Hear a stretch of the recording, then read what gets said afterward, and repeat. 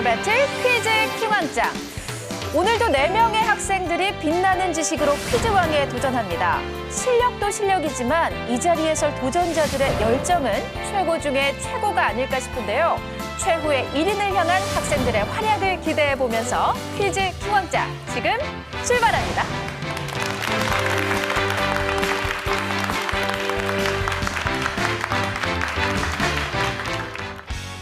최고의 퀴즈왕이 되기 위해 자존심을 건 한판 승부가 시작된다.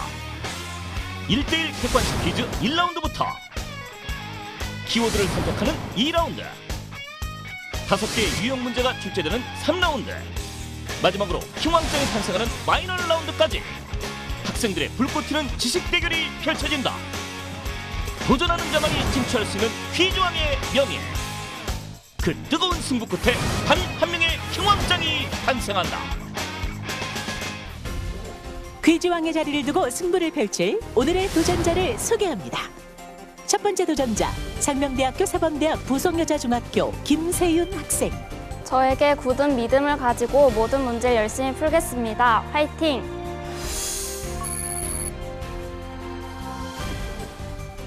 두 번째 도전자 성남 장안중학교 박현진 학생. 제가 아는 부분에서는 실수하지 않고 최대한 맞출 수 있도록 노력하겠습니다. 화이팅!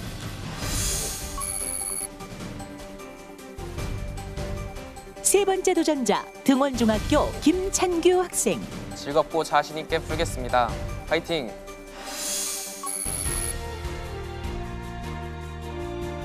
네 번째 도전자 대전 갑천중학교 박세익 학생. 떨지 말고 확실하게 풀겠습니다. 화이팅!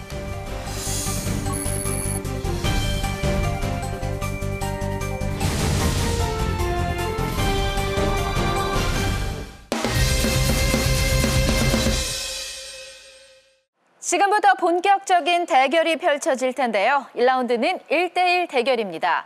추첨을 통해 정해진 도전자들이 다섯 개의 객관식 문제를 풀게 되는데요. 기본 점수 100점이 주어지며 정답을 맞히면 20점을 획득하고 틀리면 10점이 감점됩니다. 학생 한 명당 답을 이야기할 수 있는 기회는 단 한 번씩 뿐이니까요. 두 학생 모두 신중한 선택을 해주시기 바랍니다. 자, 그럼 1라운드 첫 번째 대결을 시작합니다. 1라운드 첫 번째 대결은 김세윤 학생 그리고 박현진 학생의 대결입니다.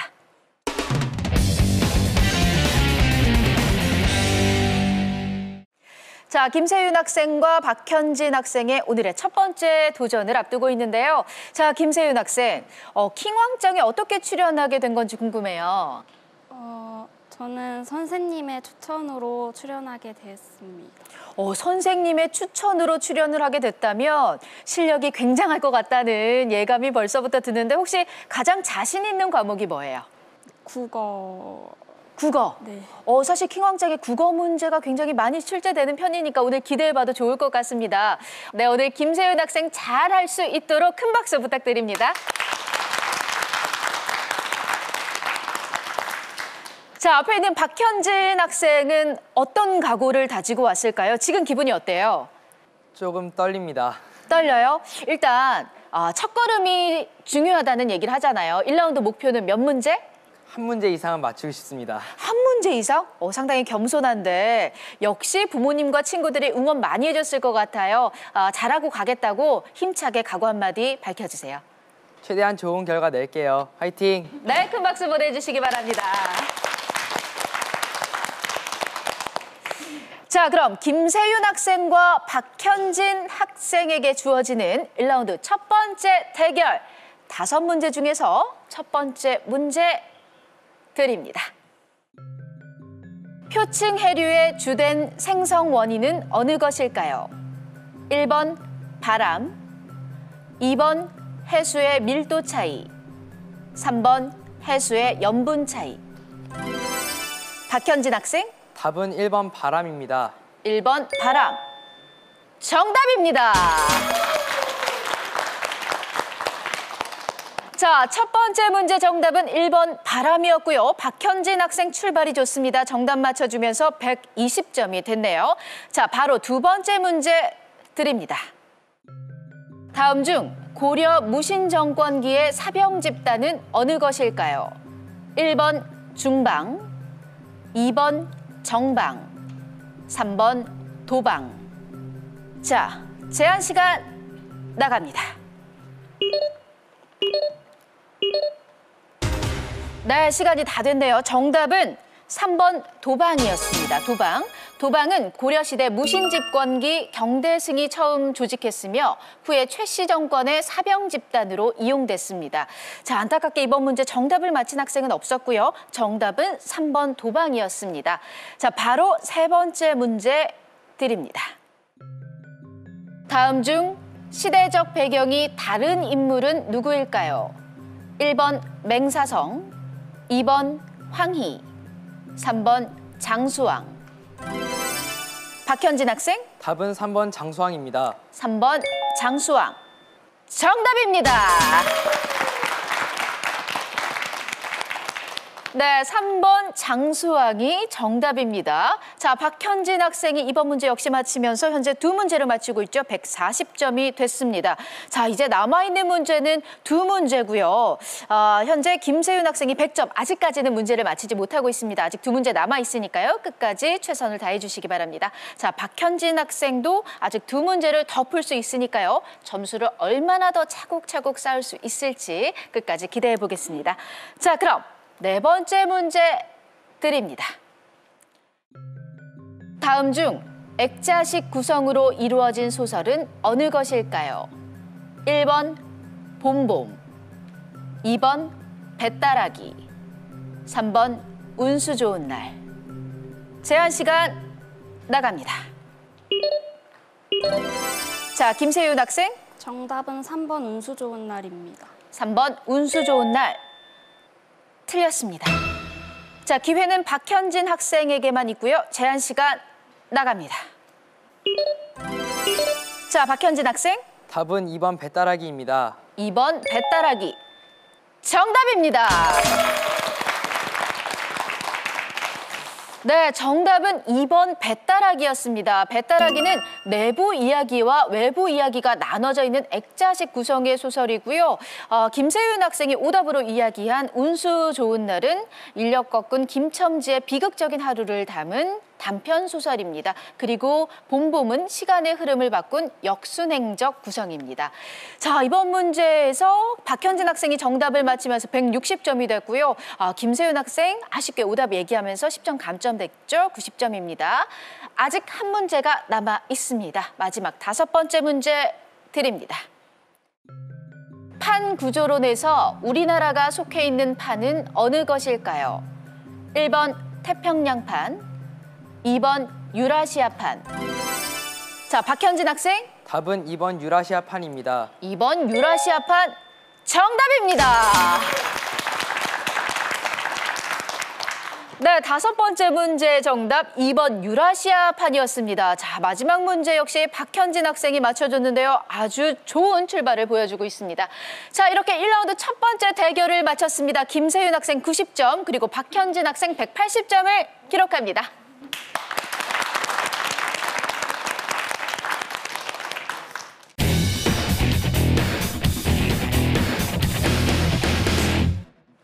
두 번째 대결 시작합니다. 1라운드 두 번째 대결은 김찬규 학생 그리고 박세익 학생의 대결입니다.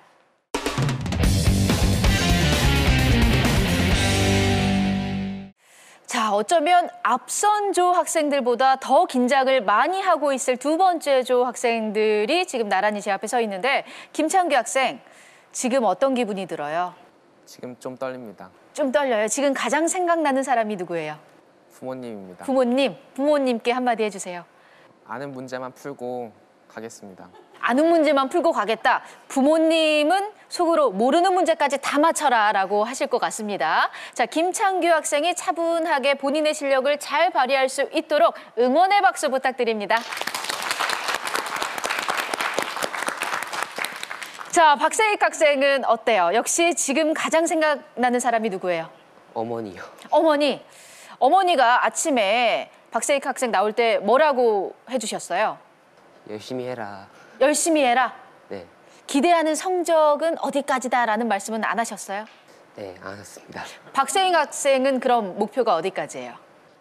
1, 등을 노리겠습니다. 역시 1등을 노리겠습니다. 라고 하는데, 어, 두 학생 지금 왠지 앞선 저보다 더 긴장을 하고 있는 것 같거든요. 큰 소리로 파이팅 한번 외치고 또 응원의 박수 한번 받고 시작을 해보도록 하겠습니다. 하나, 둘, 셋 하면 큰 소리로 파이팅 외쳐주세요. 하나, 둘, 셋.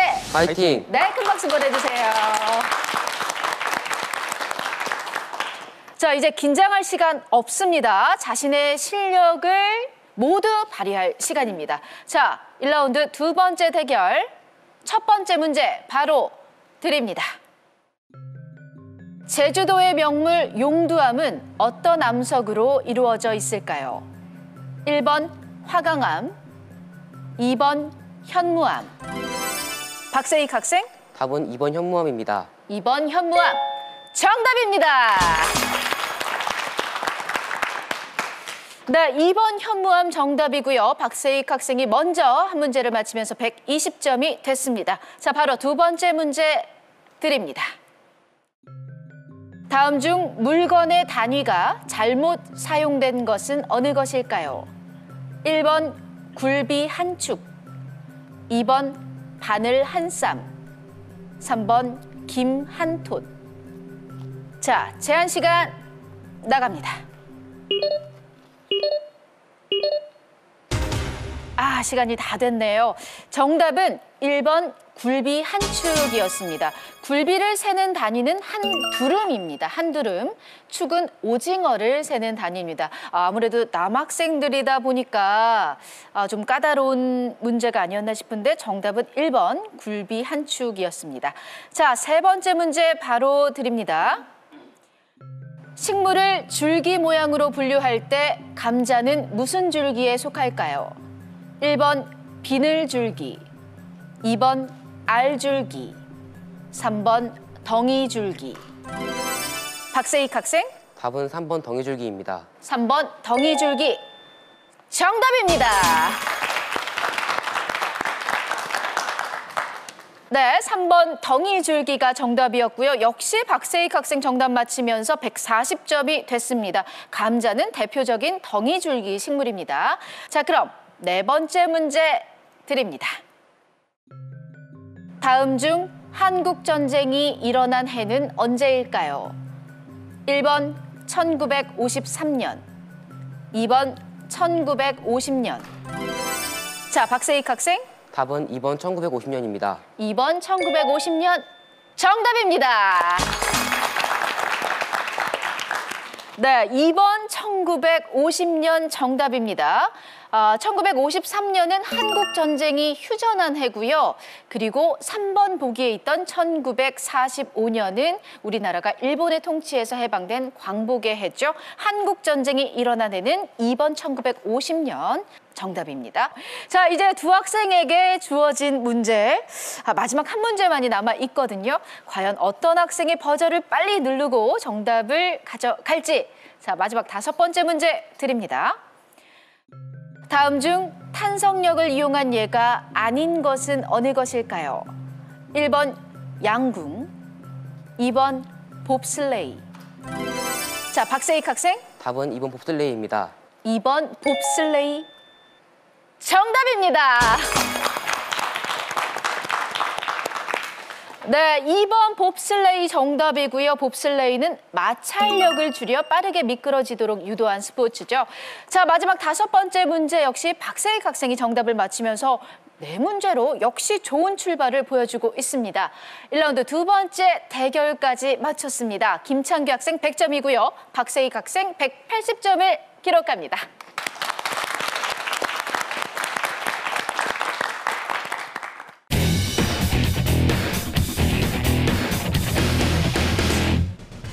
도전자들의 실력을 확인할 수 있는 1라운드 그 첫 번째 대결에선 기선제압에 성공한 박현진 학생이 네 문제를 맞히며 180점을 획득하고 반면 자신감을 잃은 듯한 김세윤 학생은 한 번의 감점으로 90점을 기록했다.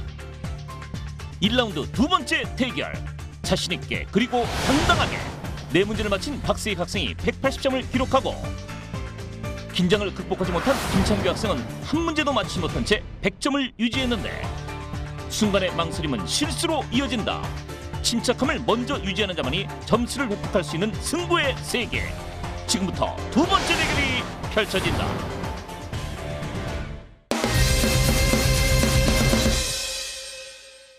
지금부터 본격적인 네명의 대결 2라운드를 시작하겠습니다. 2라운드는 총 9개의 키워드가 제시되며 키워드와 관련된 주관식 문제가 출제됩니다. 정답을 맞히면 30점을 획득하고 틀리면 20점이 감점됩니다. 9개의 키워드 중에서 2개의 키워드 속에는 보너스 점수가 숨어 있는데요. 보너스 점수 문제를 맞힐 경우 60점을 획득할 수 있습니다. 자, 그럼 9개의 키워드를 공개합니다. 자, 키워드가 공개됐습니다. 생물, 질병, 지구, 화학, 노벨 평화상, 경제, 왕, 철학자, 바다 이렇게 아홉 개의 키워드가 공개가 됐고요. 아, 찬찬히 한번 키워드를 살펴보시기 바랍니다. 자, 박현진 학생이 아마도 첫 번째 키워드를 선택해야 할 것 같은데 박현진 학생 사실 1라운드에서 봤을 때 어, 다양한 과목의 문제를 골고루 잘 풀더라고요. 특히 자신 있는 과목은 뭐예요? 사회인 것 같습니다. 사회인 것 같다. 나는 다 잘하는데 사회를 조금 더 잘하는 것 같다. 이런 의미로 들리는데 그렇다면 박현진 학생이 선택할 2라운드 첫 번째 키워드는 뭔가요? 노벨 평화상 하겠습니다. 노벨 평화상. 자, 과연 어떤 문제가 숨어 있을까요? 네 학생 모두에게 주어지는 문제입니다. 잘 듣고 정답을 아는 학생은 곧바로 버저를 눌러주시면 됩니다. 자, 2라운드 첫 번째 키워드 노벨 평화상 문제 드립니다. 이것은 국적, 이념, 종교적 차별 없이 개발도상국의 어린이를 구호하기 위해 설립된 국제단체입니다. 세계의 어린이를 위한 구호, 교육 등의 사업을 펼쳐 노벨 평화상을 수상하기도 한 이 국제기구는 무엇일까요? 자, 국제연합의 상설 보조기관. 자, 박세익 학생, 유니세프입니다. 유니세프. 유니세프. 정답입니다. 네, 유니세프 정답입니다. 유니세프는 전쟁 피해 아동의 구호와 개발도상국 어린이의 복지 향상을 위해 설치된 국제연합의 특별 기구입니다. 자, 박세익 학생이 정답을 맞히면서 210점이 됐고 이렇게 되면 단독 선두가 됐습니다. 자, 다음 키워드 박세익 학생이 선택할 수 있어요. 생물 하겠습니다. 자, 생물. 역시 자신 있는 과학 과목에서 선택을 했네요. 자, 그럼 두 번째 키워드 생물 문제 드립니다. 이것은 생태계의 먹이 사슬 관계에서 상위에 위치한 동물을 뜻합니다. 생물의 무분별한 번식을 막는 중요 인자인 이것은 박현진 학생, 답은 포식자입니다. 포식자. 틀렸습니다. 자, 문제를 끝까지 들어주시기 바랍니다. 문제 계속해서 드립니다. 이것은 생태계의 먹이 사슬 관계에서 상위에 위치한 동물을 뜻합니다. 생물의 무분별한 번식을 막는 중요 인자인 이것은 무엇일까요? 자, 뱀은 개구리의 이것입니다. 자, 박세익 학생, 정답은 성의 포식자입니다. 상위 포식자. 틀렸습니다. 자, 김창기 학생, 답은 천적입니다. 천적. 정답입니다. 네, 정답은 천적이었습니다. 천적은 해충이나 잡초 등 유해 생물의 수를 저하시키는 데도 사용되며 생물의 무제한 번식을 막는 역할을 합니다. 자, 정답은 천적이었고요. 이번 문제 김찬규 학생이 정답을 맞히면서 130점이 됐습니다. 어, 1라운드 때는 사실 문제를 맞히지 못했었는데 현재 30점 획득하면서 130점이 됐습니다. 아, 첫 문제 맞힌 소감 한번 들어볼까요, 김찬규 학생? 어, 기분이 굉장히 좋습니다. 그렇죠. 이 좋은 기분, 굉장히 좋은 기분 많이 많이 느낄 수 있도록 앞으로도 많은 문제 맞춰주길 기대하겠습니다. 자, 이렇게 되면 우리 김세윤 학생도 힘을 얻고 더 분발할 수 있을 것 같아요. 아직 많은 문제가 남아 있으니까요. 자신감 잃으면 안 됩니다. 자, 다음 키워드는 김찬규 학생이 선택할 수 있어요. 왕 하겠습니다. 왕. 자, 다음 키워드 왕입니다. 자, 그럼 다음 키워드 왕 문제 드립니다. 조선시대에는 왕이 병들거나 나이가 들어 정사를 제대로 돌볼 수 없을 때 세자나 세손이 자, 김창규 학생. 답은 대리청정입니다. 대리청정. 자, 대리청정. 정답입니다. 네, 대리청정 정답입니다. 대리청정은 왕의 허락을 받은 자가 왕 대신 정사를 돌보는 정치 형태를 말합니다. 대표적으로 문종과 사도세자 그리고 정조의 손자인 효명세자가 대리청정을 한 것으로 알려져 있습니다.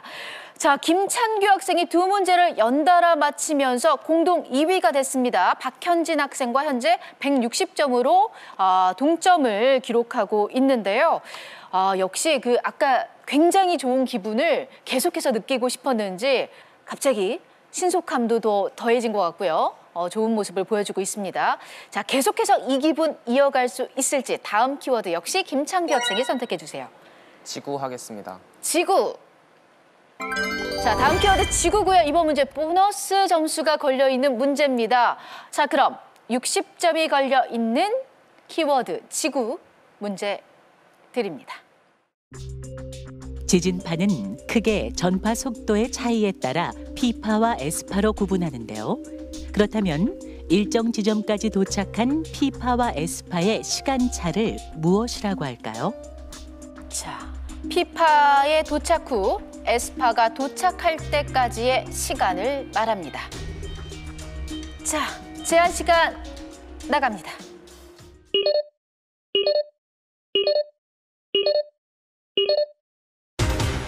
네, 안타깝습니다. 정답은 PSC였습니다. PSC. 진원에서 지진이 발생하면 P파와 S파가 동시에 출발하지만 전파 속도의 차이에 의해 P파가 도착하고 나서 S파가 도착하게 됩니다. P파에 도착 후 S파가 도착할 때까지의 시간을 PSC라고 합니다.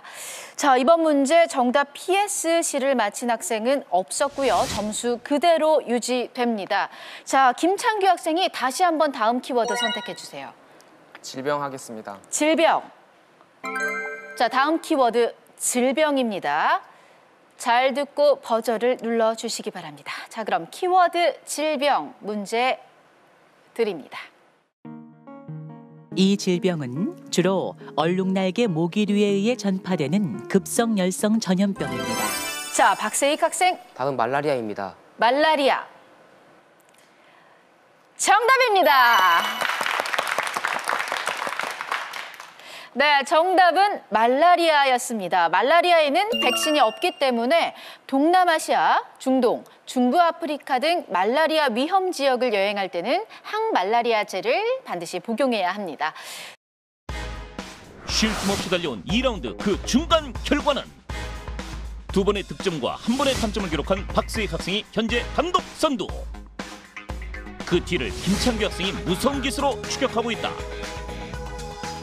1라운드를 높은 점수로 끝냈던 박현진 학생과 김세윤 학생의 부진이 계속되는 가운데 후반전을 맞이한 2라운드 과연 승부의 행방은 어떻게 될 것인가? 자, 다음 키워드는 어떤 것이 선택이 될지 박세익 학생에게 선택권이 있습니다. 화학 하겠습니다. 화학. 자, 화학을 선택했습니다. 다음 키워드 화학 문제 드립니다. 이것은 습도에 따라 색깔이 변하는 지시종이입니다. 본래 푸른색을 띠지만 김창규 학생, 답은 리트머스 종이입니다. 리트머스 종이 문제를 끝까지 들어주시기 바랍니다. 틀렸습니다. 자, 문제 계속해서 드립니다. 본래 푸른색을 띠지만 수분을 흡수하면 붉은색으로 변해 수분의 유무를 확인할 수 있는데요. 과학 실험 시 수분 함유를 검사하는 데 사용하는 이 시험지는 무엇일까요? 자, 과학 실험에 흔히 사용되는 시험지 중 하나입니다. 자, 제한 시간 나갑니다. 박세익 학생, 코발트 블루 종이입니다. 코발트 블루 종이 틀렸습니다. 자, 다시 한번 제한 시간 나갑니다. 자, 김창규 학생, 답은 리트머스 시험지입니다. 리트머스 시험지 틀렸습니다. 자, 세 번의 기회가 모두 소진됐죠. 정답은 염화 코발트 종이 정확한 정답은 염화 코발트 종이었습니다. 염화 코발트 용액에 들어있는 코발트 이온은 물과 결합하면 색깔이 붉게 변해 수분이 함유돼 있는지 확인할 수 있습니다. 자, 안타깝게 정답을 맞힌 학생은 없었고요. 자, 두 명의 학생이 오답을 이야기하면서 감점이 됐죠. 자, 이제 2라운드 남아있는 문제 세 문제입니다. 이 세 문제 속에는 보너스 점수가 걸려있는 문제도 한 문제 남아 있습니다. 자, 다음 키워드 선택은 박세익 학생, 이전 문제 정답자였죠. 박세익 학생이 선택할 수 있습니다. 경제하겠습니다. 경제. 자, 경제를 선택했습니다. 자, 보너스 점수가 걸려있는 문제입니다. 이번 문제 정답 맞히면 60점을 획득할 수 있습니다.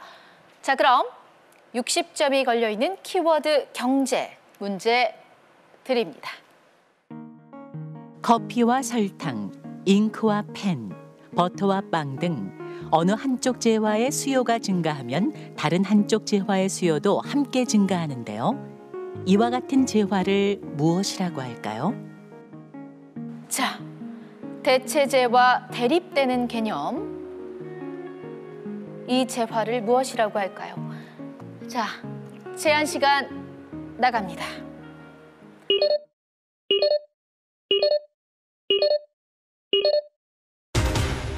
네, 시간이 다 됐네요. 정답은 보완제였습니다. 보완제, 보완제가 정답입니다. 보완제는 두 재화를 따로 소비했을 때보다 함께 소비했을 때 효용이 증대되는 재화로 협동제라고도 합니다. 자, 우리 내 학생들이 보너스 문제를 두 문제 다 놓치고 나니까 표정이 좀 많이 어두워졌어요. 내 학생 다시 한번 큰 소리로 파이팅 외치고 우리 큰 박수 보내주고 두 문제 이어가 보도록 하겠습니다. 큰 소리로 외치는 거예요. 하나, 둘, 셋, 파이팅! 자, 남아있는 두 문제는 반드시 모두 정답을 맞춰주길 기대할게요. 다음 키워드 다시 한번 박세익 학생이 선택해 주세요. 철학자 하겠습니다. 철학자. 자, 다음 키워드 철학자입니다. 2라운드 여덟 번째 키워드고요. 키워드 철학자. 문제 드립니다. 고대 그리스의 철학자인 이 사람은 플라톤의 스승으로도 유명합니다. 그는 문답법을 통한 깨달음과 무지에 대한 자각, 도덕적 실천인 실천지를 중시했는데요. 고대 그리스의 대표 철학자인 이 사람은 누구일까요? 자, 이 사람은 누구일까요? 너 자신을 알라라는 네, 김세윤 학생. 답은 소크라테스입니다. 소크라테스. 정답입니다. 네, 소크라테스 정답입니다. 소크라테스는 기원전 5세기경 활동한 고대 그리스의 대표적인 철학자입니다. 문답법뿐만 아니라 덕과 알매의 일치를 강조하며 자신의 무지를 깨달아야 한다고 주장했습니다. 자, 김세윤 학생 이번 문제 정답 맞히면서 120점이 됐고요. 이렇게 되면 김창규 학생과 동점이 됐네요. 120점이 됐고 아까 그 김창규 학생이 본인의 첫 문제 맞췄을 때 정답 맞히고 굉장히 기분이 좋다고 했는데 김세윤 학생의 기분은 어 떨지 색다른 표현 한번 기대해 볼게요. 어떤가요? 어, 아까 전까지만 해도 조금 불안했었는데 지금은 한 문제라도 맞춰서 안도하고 있어요. 안도하고 있는 그 마음이 표정에서도 느껴지는 것 같습니다. 표정이 확 밝아졌어요. 역시 이 기분 오래오래 많이 많이 느끼길 기대하겠습니다. 이제 마지막 키워드 하나 남아 있거든요. 김세윤 학생이 큰 소리로 외쳐주세요. 바다 선택하겠습니다. 바다. 자, 바다 선택했고요. 2라운드 마지막 키워드입니다. 키워드 바다. 문제 드립니다. 이 동물은 바닷속 대표적인 극피동물입니다. 종류에 따라 구형, 반구형, 심장형으로 나뉘며 탄산 칼슘으로 이루어진 두꺼운 골판으로 덮여 있는데요. 바다 바닥에 서식하는 해조류를 주식으로 해 백화 현상의 원인이 되기도 하는 이 생물은 자, 박세익 학생. 정답은 플랑크톤입니다. 플랑크톤 틀렸습니다. 자, 문제를 끝까지 들어주시기 바랍니다. 문제 계속해서 드립니다. 바다 바닥에 서식하는 해조류를 주식으로 해 백화 현상의 원인이 되기도 하는 이 생물은 무엇일까요? 우리나라 선조들은 이것의 생김새를 따라 밤송이 조개라고 불렀습니다. 자, 밤송이 조개. 자, 박세익 학생. 정답은 성게입니다. 성게. 정답입니다. 네, 성게 정답입니다. 성게는 극피동물문 성게강에 속하는 야행성 동물입니다. 주로 해조류를 잡아먹는데요. 해조류가 사라져 바다의 사막화 현상을 일으키는 백화 현상의 원인으로도 알려져 있습니다. 자, 이렇게 2라운드 9개의 키워드 모두 함께 해봤습니다. 네 학생의 점수 정리해 드릴게요. 자, 김세윤 학생 120점, 박현진 학생 160점, 김창규 학생 120점, 박세익 학생 210점을 기록합니다.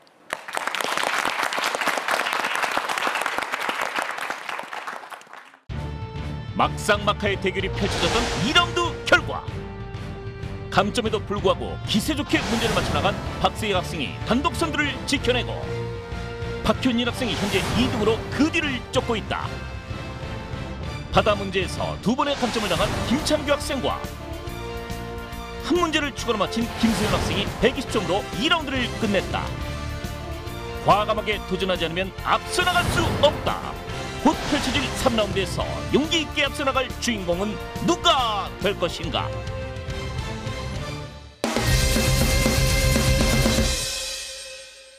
파이널 라운드로 가기 위해 반드시 거쳐야 하는 3라운드. 3라운드는 총 5가지 유형의 문제가 출제되는데요. 정답을 맞히면 30점을 획득하고 틀리면 20점이 감점됩니다. 이번 라운드에서 점수가 가장 낮은 도전자는 파이널 라운드에 진출할 수 없습니다. 끝까지 후회 없는 승부를 펼쳐주시기 바랍니다. 자, 그럼 3라운드 문제 유형을 공개합니다. 자, 다섯 가지 문제 유형 공개됐습니다. 추리, 빈칸, 암산, 영상, 초성 이렇게 다섯 가지 문제 유형이 공개가 됐고요. 자, 네 학생의 점수 다시 한번 짚어드릴게요. 자, 박세익 학생 210점으로 단독 선두고요. 박현진 학생 160점으로 뒤를 잇고 있습니다. 김세윤 학생과 김찬규 학생 동점이네요. 각각 120점씩을 기록 중입니다.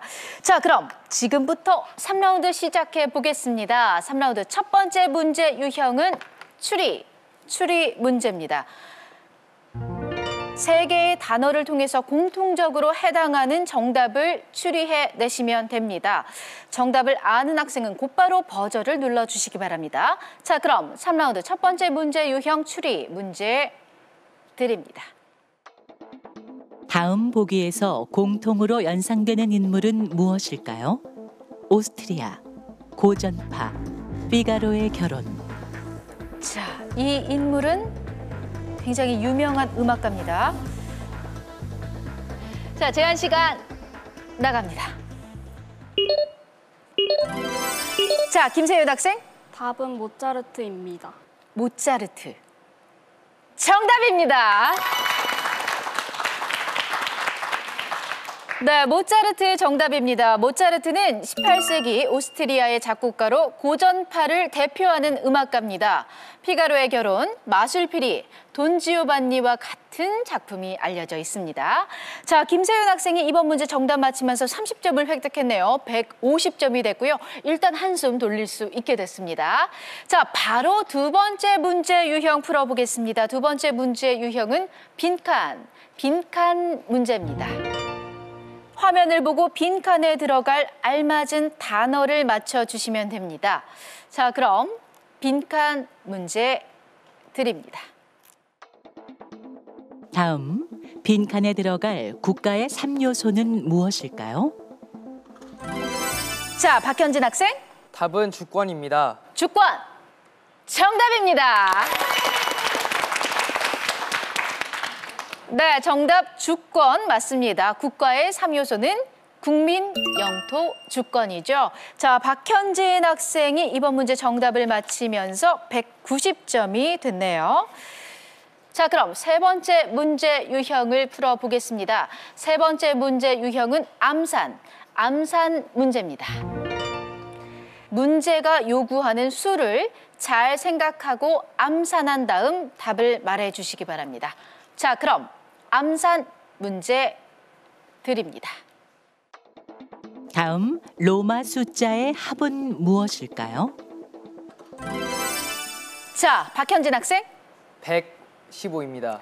115. 틀렸습니다. 자, 박세익 학생. 답은 35입니다. 35. 정답입니다. 네, 정답은 35입니다. 자, 앞에 있는 로마 숫자가 몇이죠? 10, 10, 15입니다. 아하, 10, 10, 15 해서 앞에 있는 숫자가 20이고 뒤에 있는 숫자가 15, 합해서 35. 정답입니다. 자, 박세익 학생이 이번 문제 정답 맞히면서 240점이 됐네요. 반면에 박현진 학생 오답 이야기하면서 20점 감점됐죠? 170점입니다. 자, 이제 남아있는 문제 두 문제입니다. 끝까지 집중해 주시기 바랍니다. 다음 문제, 영상, 영상 문제입니다. 영상과 함께 문제를 잘 듣고 정답을 맞춰 주시기 바랍니다.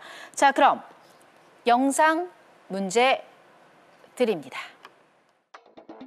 이것은 우리 선조들이 다듬이질을 할 때 사용했던 도구입니다. 표면을 둥글게 깎아 만든 나무 막대로 옷감을 두들겨 구김살을 펴는 데 사용됐는데요. 이것은 무엇일까요? 자, 박세익 학생, 답은 방망이입니다. 방망이 틀렸습니다. 자, 힌트 드릴게요. 별안간 엉뚱한 말이나 행동을 할 때 아닌 밤중에 이것이라는 표현을 자, 박현진 학생, 정, 답은 홍두깨입니다. 홍두깨. 정답입니다. 홍두깨는 옷감에 구김살을 펴고 옷감 특유의 광택과 촉감을 살리기 위해 사용한 도구이다. 오늘날에는 홍두깨를 보기 어렵지만 1930년대까지만 해도 세탁 과정의 필수 도구로 사용됐다. 자, 이제 3라운드 마지막 문제 유형 함께 풀어보겠습니다. 마지막 문제 유형은 초성, 초성 문제입니다. 정답이 초성으로 주어집니다. 앞에 있는 화면을 잘 보시고 정답을 아는 학생은 버저를 눌러 주시기 바랍니다. 자, 그럼 문제 유형 초성 문제 드립니다. 이 위성은 목성 자, 박세익 학생. 정답은 타이탄입니다. 타이탄. 정답입니다. 네, 타이탄 정답입니다. 버저 싸움에서 역시 박세익 학생이 이긴 것 같네요. 타이탄은 과거 액체 메탄으로 이루어진 호수가 모래 언덕으로 변화한 것이 확인되며 지구 온난화의 연구 모델이 되고 있습니다. 자, 이번 문제 정답 타이탄 박세익 학생이 맞히면서 250점이 됐고요. 자, 이렇게 되면 김창규 학생이 여기서 도전을 마감해야 할 것 같습니다. 파이널 라운드까지는 함께하지 못하게 됐는데 아, 마지막으로 못다한 이야기가 있다면 하세요. 굉장히 아쉽긴 한데 그래도 좋은 경험하고 가는 것 같습니다. 맞습니다. 오늘 사실 어, 김창규 학생이 정말 못한 건 아니거든요. 멋진 도전을 보여줬고 응원해준 분들에게도 마지막으로 한마디 해주세요. 기대하는 성적을 못 내서 죄송하지만 그래도 응원해 주셔서 감사합니다. 네, 김창규 학생에게도 오늘의 경험이 멋진 추억이 되기를 바라겠습니다. 자, 김창규 학생에게 큰 박수 부탁드립니다.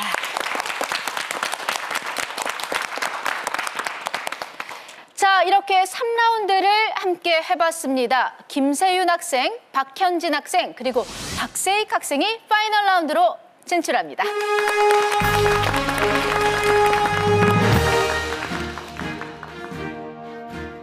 파이널 라운드로 가는 마지막 관문 3라운드 결과 암산과 초성 두 문제를 맞히며 단독 선두로 이번 라운드를 마친 박세익 학생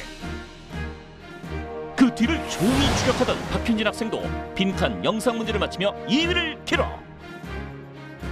김세윤 학생은 9사 1승으로 파이널 라운드의 마지막 진출자가 됐다.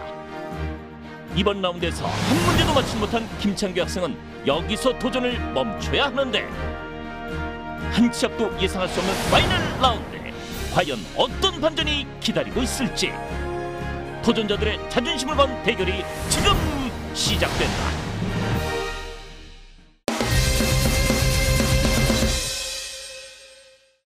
최고의 퀴즈 퀴즈왕을 가리는 마지막 관문 상명대 부속여중의 김세윤 학생 그리고 성남 장안중학교의 박현진 학생 대전 갑천중학교의 박세익 학생의 파이널 라운드 대결만을 앞두고 있습니다.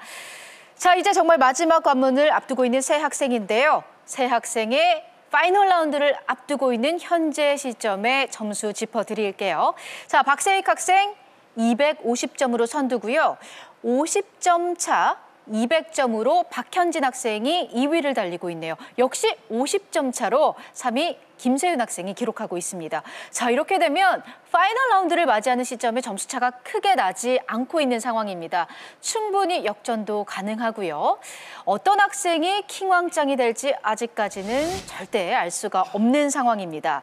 자, 이런 상황에서 아, 김세윤 학생이 옆에 있는 두 학생에게 도전장을 던지는 의미로 한마디 하고 파이널 라운드 시작해 보도록 할게요. 어, 파이널 라운드에 진출한 것만으로도 많이 뿌듯하고 어, 남은 문제도 최선을 다해 열심히 풀겠습니다.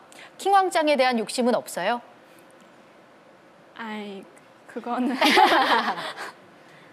아주 조금 아주 조금 네 김세윤 학생의 표정이 더 솔직하게 말해주고 있는 것 같아요. 역시 여기까지 왔으니까 역전의 명수 한번 노려볼 만한 것 같습니다. 좋은 성적 기대할게요. 자 박현진 학생, 어, 역시 박세익 학생을 견제하고 또 김세윤 학생을 밀어내고 킹왕짱이 되기 위해서 어, 어떤 각오가 필요할 것 같은데 두 학생에게 역시 도전장 던지는 걸로 한마디 해주세요.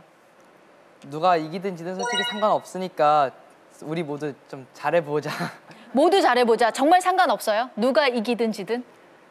그래도 조금 약시, 욕심은 있긴 있는데요. 그래도 어쨌든 좋은 친구가 될 수 있을 것 같아서. 아, 좋은 친구가 될 수 있을 것 같지만 내가 1등 하겠다. 저는 이런 의미로 받아들이도록 하겠습니다. 끝까지 열심히 해주시고요. 자, 박세익 학생. 두 학생의 도전장을 받았습니다. 아, 조금 소극적이긴 했지만 그래도 두 학생의 마음속 깊은 곳에서는 내가 역전을 해서 킹왕짱이 되겠다 이런 마음이 숨어 있는 것 같았거든요. 박세익 학생이 두 학생에게 역시 한마디 던져주고 시작하겠습니다. 멀리서 왔는데 미안하다. 나 우승하겠다. 멀리 왔는데 미안하지만 내가 우승하겠다. 우리 박세익 학생 대전에서 왔죠. 자, 과연 자 멀리서 온 이 고생이 덜하게 우승까지 갈 수 있을지 기대를 해보도록 하겠습니다. 자, 이 세 학생 정말 마지막 관문 앞두고 있으니까요.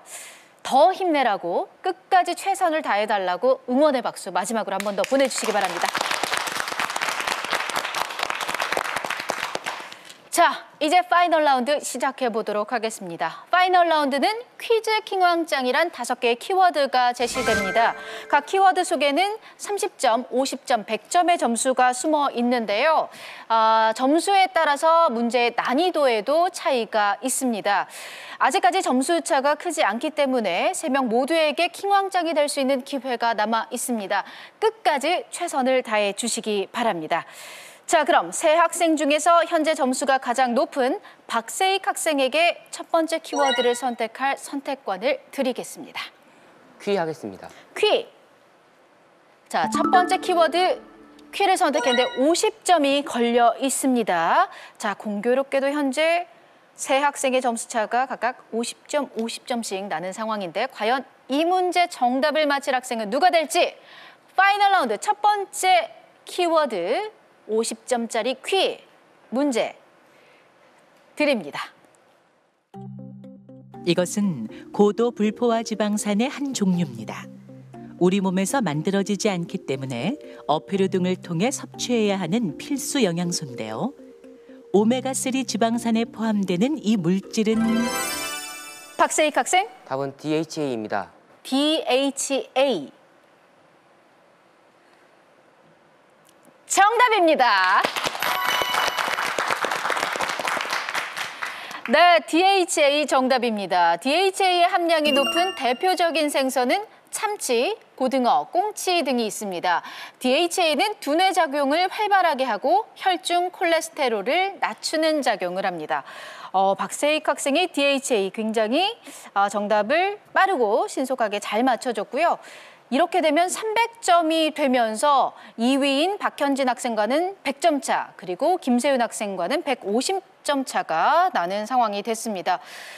자, 이제 두 번째 키워드 선택해 봐야 할 텐데요. 박세익 학생 선택해 주세요. 즈 하겠습니다. 즈. 자, 즈를 선택했고요. 자, 이번에는 100점짜리 문제입니다. 자, 난이도가 조금 있는 문제가 될 것 같은데요.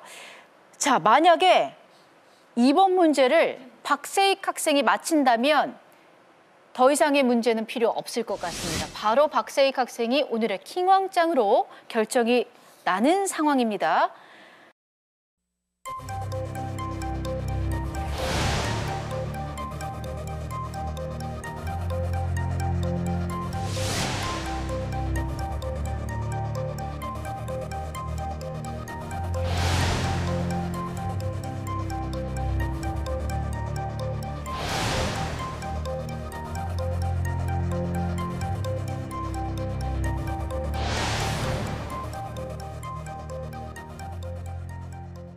백 점짜리 파이널 라운드 두 번째 키워드 즈 문제 드립니다.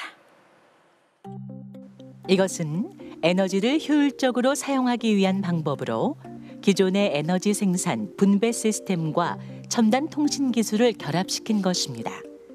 소비자가 전기를 쓰는 시간대별 사용량과 요금을 알 수 있도록 하는 차세대 지능형 전력망은 무엇일까요? 자, 차세대 지능형 전력망. 지능형 전력망을 뜻하는 영어 단어입니다. 자, 제한 시간 나갑니다.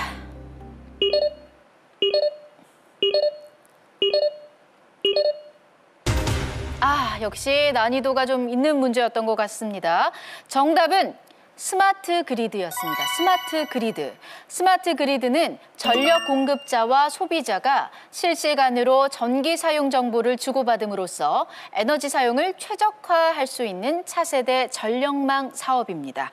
자, 이번 문제 100점을 가져간 학생은 없었고요. 이번 문제에서 킹왕짱이 가려지지 않았습니다. 자, 이제 남아있는 문제는 세 문제입니다. 다음 키워드 다시 한번 박세익 학생이 선택해 주세요. 킹 하겠습니다. 킹. 자, 이번 문제 역시 100점짜리 문제입니다. 자, 마찬가지입니다. 이번 문제 박세익 학생이 정답을 맞힌다면 킹왕짱은 박세익 학생이 되고요. 만약 박현진 학생이 맞힌다면 박세익 학생과 동점이 되고요. 자, 김세윤 학생이 맞힌다면 박현진 학생을 역전하고 박세익 학생과 50점 차로 따라붙게 되네요. 그리고 만약 이번 문제 아무도 맞히지 못할 경우에도 박세익 학생이 오늘의 킹왕짱이 됩니다. 이번 문제 세 학생 모두에게 정말 중요한 문제가 됩니다. 자, 그럼 100점이 걸려 있는 파이널 라운드 세 번째 키워드 킹 문제 드립니다. 이 사건은 조선의 제10대 왕 연산군을 폐위시키고 성종의 둘째 아들인 진성대군을 왕으로 추대한 사건입니다. 연산군이 두 차례의 사화를 일으키고 폭정을 일삼자 일부 훈구파 세력이 폐위를 계획했는데요. 1506년 발생한 이 사건은 무엇일까요? 자, 이 사건으로 진성대군은 조선의 11대 왕이 됩니다. 이 사건은 무엇일까요? 1506년에 발생한 이 사건. 자, 제한 시간 나갑니다. 자, 이 문제 아무도 맞히지 못할 경우 오늘의 킹왕짱 결정이 됩니다. 자, 박현진 학생, 정답은 기묘사화입니다. 기묘사화. 틀렸습니다. 박세익 학생, 답은 중종 반정입니다. 중종 반정. 중종 반정. 정답입니다.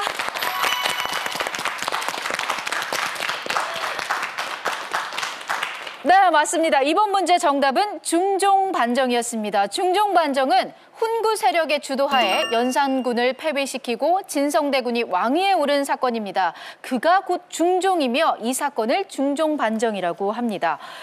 자, 이렇게 되면 박세익 학생 마지막 문제를 맞췄는데 제가 꼭 한 가지 묻고 싶어서요. 왜 버저를 늦게 누르고 맞힌 거예요? 태종태에서 묻는 사다가 헷갈- 헷갈려가지고 아, 좀 다시 했습니다. 혼자서 그 조선시대의 왕을 태정태세 이렇게 계산을 해보다가 11대 왕이 중종이란 것이 생각이 나면서 답을 유추해냈군요. 네. 어, 천천히 차분하게 푼 끝에 이번 문제 정답 맞히고 박세익 학생 400점이 됐습니다. 이렇게 되면 남아있는 키워드 두 개, 왕과 짱을 뒤집어 보겠습니다. 30점과 짱에는 50점이 남아 있는데요. 남아 있는 점수가 80점인데 이미 박세익 학생은 2위인 박현진 학생과 점수 차가 230점이 나는 상황입니다. 자, 이렇게 되면 오늘의 킹왕짱이 결정이 됐습니다. 파이널 라운드까지 풀어본 결과 김세윤 학생이 150점, 박현진 학생이 170점, 박세익 학생이 400점을 기록했고 오늘의 킹왕짱은 400점을 기록한 박세익 학생입니다.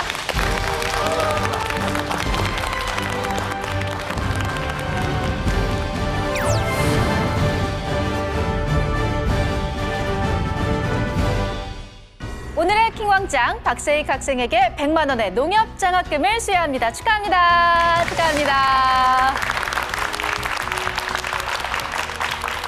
자, 박세익 학생 1라운드 때부터 출발이 아주 좋았고 자, 마침내 킹왕짱의 자리에까지 올랐습니다. 지금 기분이 어때요?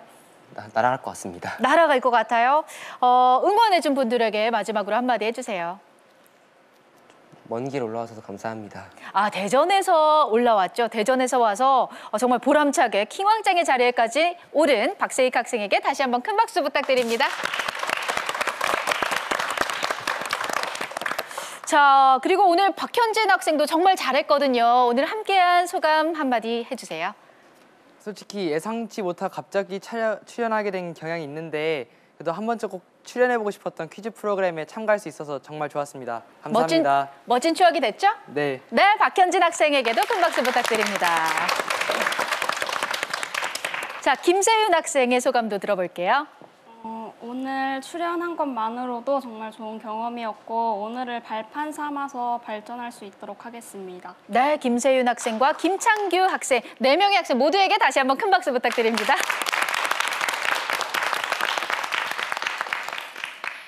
지식이 깊은 사람은 시간의 손실을 가장 슬퍼한다. 이탈리아의 시인 단테의 말입니다. 아, 지나간 하루에 아쉬움을 남기기보다 시간을 효율적으로 활용해 지식을 쌓는 우리 학생들이 되었으면 하는 바람을 가져봅니다. 저는 새로운 퀴즈왕의 탄생을 기대하면서 다음 주에 다시 찾아올게요. 고맙습니다.